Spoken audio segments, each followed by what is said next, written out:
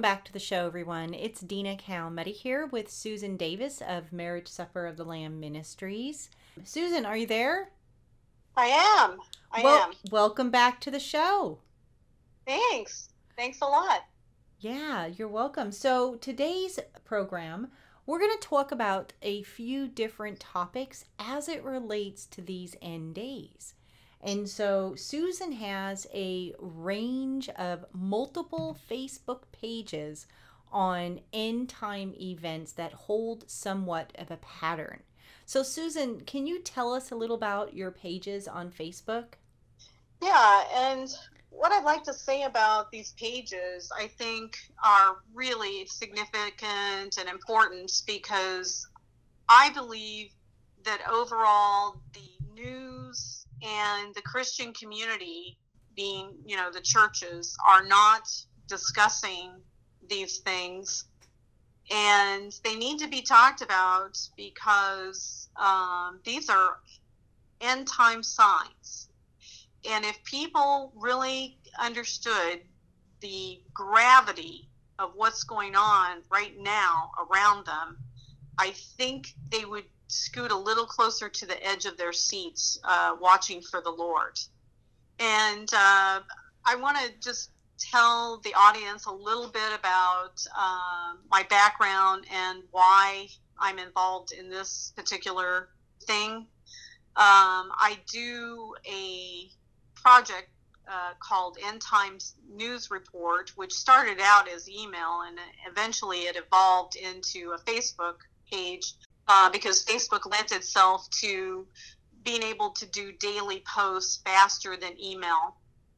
But uh, the way it works is every day we get on a Facebook page, which if you look it up, it's it's just put it in your Facebook search engine and it's End Times News Report. Very simple and but we do a lot of news over there every day. Uh, we collect it from media sources all over the world and other sources of what's going on. And so, with my involvement in that particular project, uh, as I was telling Dina before, that um, when I noticed a trend going on with something, like I would pick up on a trend um, I would create a Facebook page just for that thing uh, because I realized that maybe God wanted people to see uh, the, that that was going on. And so a lot of we have several pages that are independent of the End Time News Report, but they are their own these. And I believe that it's important to note this because a lot of these events going on in the world are absolutely scriptural. They have scripture to back them up. Uh, in that God said He would do these things, and they're happening right now. That's right. That's right. You have pages on floods, earth cracks, mm-hmm. sinkholes, signs in the sky. You have so many pages, and yeah. So let's let's, if you're ready, let's talk about the sinkholes. Okay, now the sinkholes, um, that is a really big topic.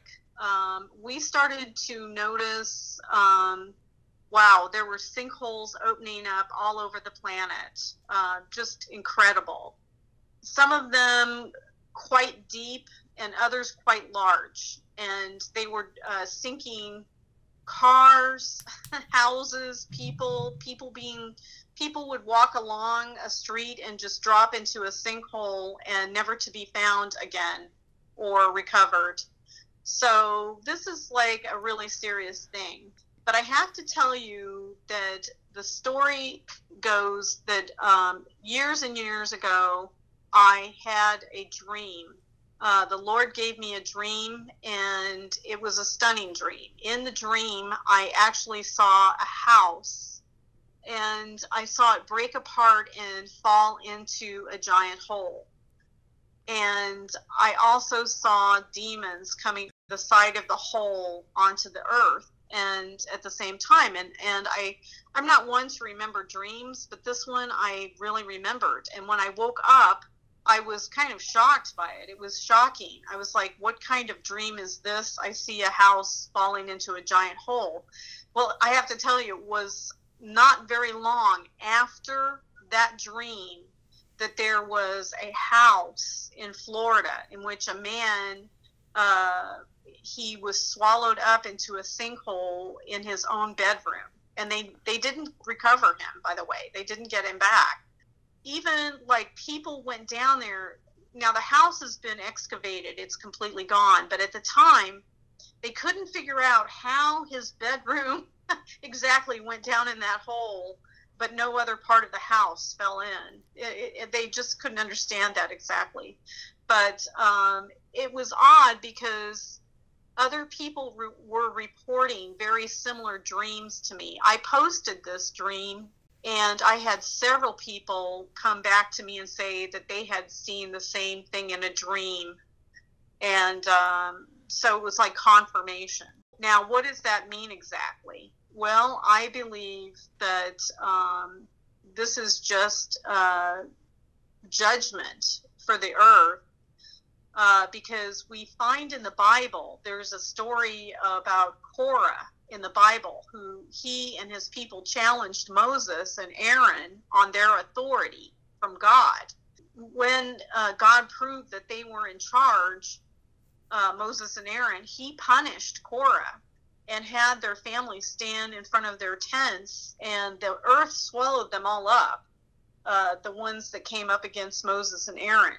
So it it was exactly uh, like um, you know what's going on right now. It's it's not like this has never happened before. It's just a form of judgment that's coming to the earth, and that's what I believe.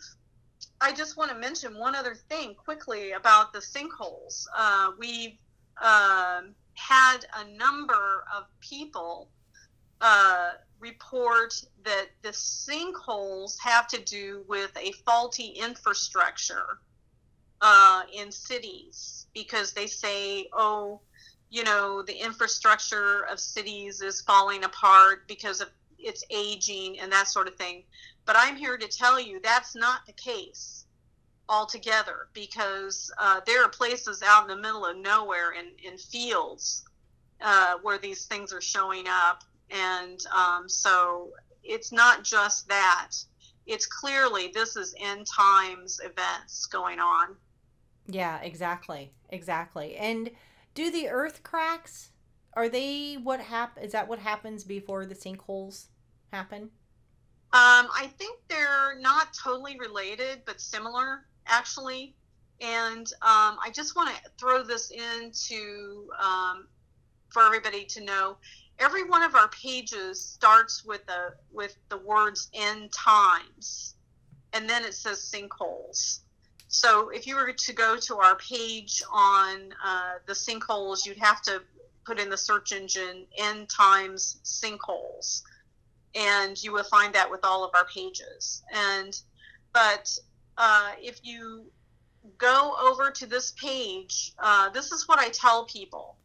Um, the pictures we have uh, so many posts with their articles and stories from all over the world. In fact i want to just add this that it's not just uh, limited to uh, metro areas or uh, country areas. It's all over the world all continents and it doesn't matter if it's city or outside the city uh, this is going on and um, the thing about the pages that I like so much is the pictures don't lie.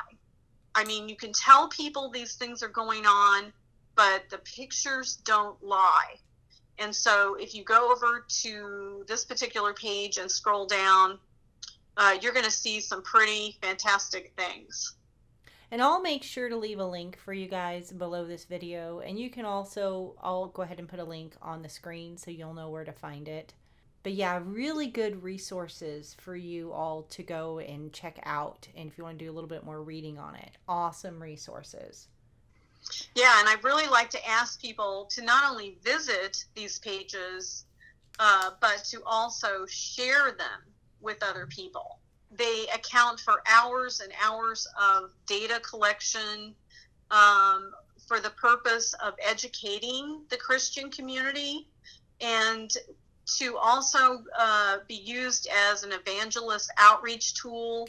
Uh, you know, when people go out and they tell their family members, hey, it's time to be ready and watch for the Lord, and people say, oh, no, it's not that time. Well, these are resources that uh, we have provided for people to say, yeah, it is time. Look at these pictures and look at these events.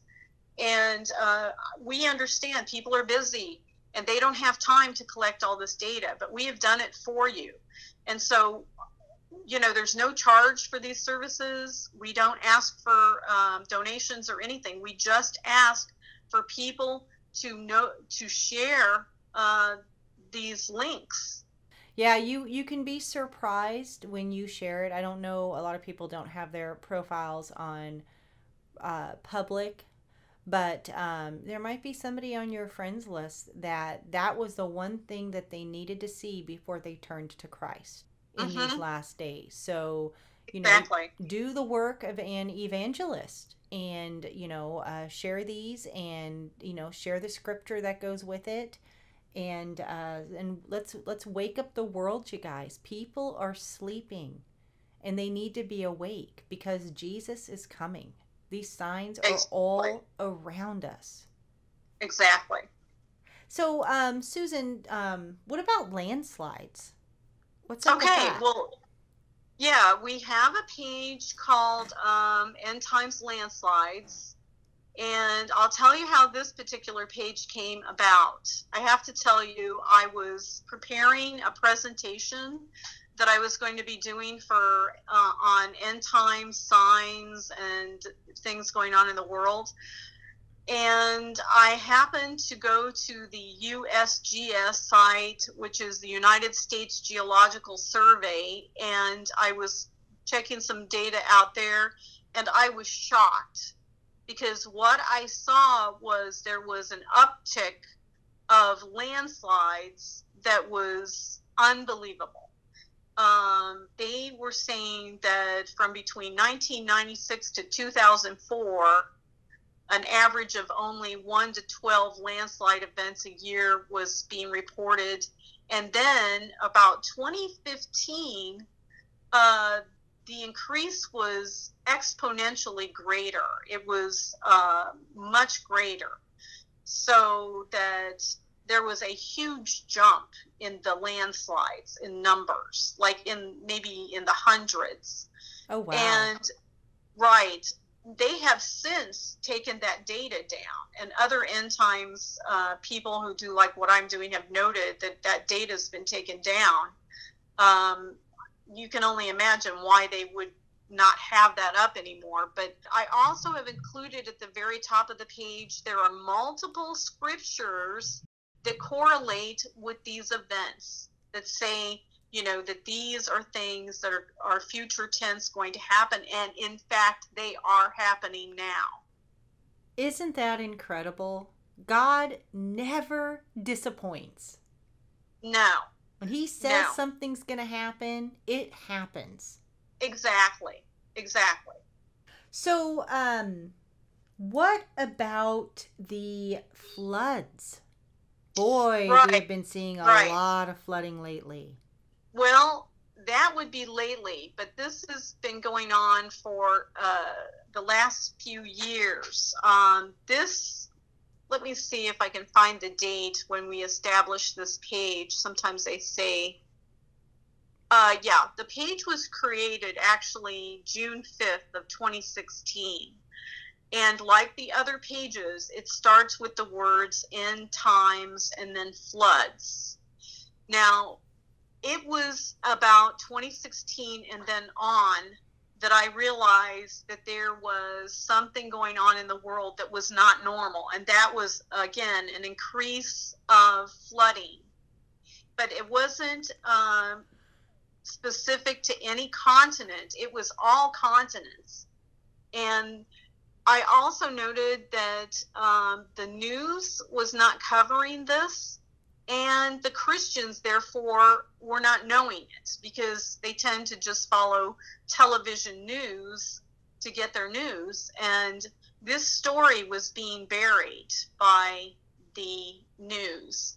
But again, if you were to go to this page and scroll down all the way to the bottom of the page back to 2016, you would be amazed about what's going on in the world around you. And um, you may not have a flood in your own backyard or a fire, but I'm telling you right now, uh, God is doing things in the world in the way of um, these natural disasters. I want to add that there are multiple uh, causes for flooding. It could be uh, there was a dam break somewhere, it could be from hurricane activity, like we're witnessing right now with Ida. Um, again, this is fantastic what happened with Ida. The fact that Ida came up and came into the coast and did major damage in Louisiana and then actually moved over land and continued to do further damage in Pennsylvania, New Jersey, and New York, which was unbelievable. This is a move of God, and um, you know, God controls weather. Yeah, we have lots of scripture to support that. Yeah, just as it were in the days of Noah, so there shall it also be in the days of the Son of Man so basically, you know, and just as it were in the days of Lot, so shall it be in the mm-hmm. days of the Son of Man. So this is a major sign of Jesus coming. It will be as it were in the days of Noah. What was it like in the days of Noah? Well, they the people, God said that it repented him so much for making man because the people in those days were thinking evil continually. But because of technology we're seeing a lot of evil these days. And and therefore we're also seeing floods just as it were in the days of noah so right. um yeah. Exactly. Luke 21 25 says and there shall be signs in the sun the moon and in the stars and upon the earth distress of nations with perplexity the sea and the waves roaring. Amen yeah, and we're beginning to see that. It's an uptick, like I said, of major uh, proportion. And I've been watching this specifically about 2015 on on this particular page, and I have to tell you there is an increase in flooding. And the last couple years, I have called it the year of the homeless because the floods that's going on around all over the world is creating so much homelessness people are losing their homes uh, through fire and floods and other uh, catastrophic events, you know, tornadoes. And uh, it's incredible how many people have been displaced out of their homes around the world because of these natural disasters. Right, right. I mean, we're talking flooding, that's covering large uh, areas of land and communities in India, Africa, China, all over the place, uh, and now America. That's right. And you won't hear about those other places so much on the news. You know, no. you'll hear about the United States, you'll hear about Ida, but you won't hear about these other places. In fact, I believe that there was a major flooding, I want to say recently in Spain. Oh yeah, well, not just Spain, but all over Europe. Um, so I absolutely implore uh, you to go to this page, and uh, like I said, the pictures don't lie. It's it's extraordinary, and if you can see all these pages that we uh, continually update, I, I don't know how you could possibly think we're not in the end times. Amen. So, um, Susan, what about the animal deaths? Right. Uh, we have a page that we've dedicated to that, and it's called End Times Mass Animal Deaths. And you just enter that into, uh, again, like I said, we always use that front le- words, uh, End Times, and then follow it with uh, Mass Animal Deaths. And uh, I've been working on this for quite a while, this particular page. again, it had to do with noticing trends. And the trend was the animals dying all over the place. Um, and there are a whole number of reasons. There's uh, disease uh, that's attacking. Uh, there's like a bird flu that's killing mass numbers of birds. Um, there's also uh, uh, animals are dying in floods. About a billion animals died in the Australian fires there was about a billion that died in the superheated area of Canada this year, this summer. And there's uh, animals coming in to all the shores uh, everywhere, dead in the oceans, and not just oceans, but um, the land, rivers, and areas. So it's not it's not just saltwater fish; it's freshwater also. I came to realize that right before the Fukushima event that hit in Japan, uh, the oceans were down about 50% on something called phytoplankton. Phytoplankton is that small microscopic organisms that feed a lot of animals, including fish uh, and our whales, uh, seal pups, um, you know, and all all these kinds of animals, turtles, uh, all exist on phytoplankton, like a whale, for instance, and dolphins and porpoises. Uh, will the whale will open his mouth and scoop up a large amount of phytoplankton, but we were down a long time ago, and then Fukushima hit. And Fukushima is a real problem. Uh, we're not 100% convinced that they're not putting all that poison in the water. In fact, I believe that that's what's going on. The ocean currents are not static, they're dynamic. Uh, they take that poison all over. Plus, there's a lot of other pollution that we uh, have created. And what is happening is the animals, uh, the mammals, the ocean mammals, uh, like the seal pups, are coming into shore uh, with their rib cages showing. Because why? Because uh, I believe the phytoplankton is being decimated. And not only that, uh, not just Fukushima, but also the ocean temperatures are rising. Uh, the planet is getting hotter and the ocean temperatures are rising and i believe it's also has an effect on the phytoplankton turtles are coming into shore completely just decimated. No no sign of food, rib cages showing, all of that sort of thing on the seal pups and everything. And they're finding some of these animals with their stomachs full of plastic and garbage that they're eating in place of what is natural for them to eat. That is heartbreaking. Now, yeah, it's heartbreaking. And so what is the bottom line about all of this? The bottom line is back we go back to scripture and the scripture in the Bible uh, gives the explanation of what is going on. And it's clear, it's right in Hosea, and it's uh, chapter 4, verse 1 to 3. And I'm going to read it. It says, Hear the word of the Lord, ye children of Israel. For the Lord hath a controversy with the inhabitants of the land, because there is no truth, no mercy, nor knowledge of God in the land. By swearing and lying and killing and stealing and committing adultery, they break out, and blood toucheth blood. Therefore shall the land mourn, and every one that dwelleth therein shall languish. With the beasts of the field, and with the fowls of the heaven, yea, the fishes of the sea also shall be taken away.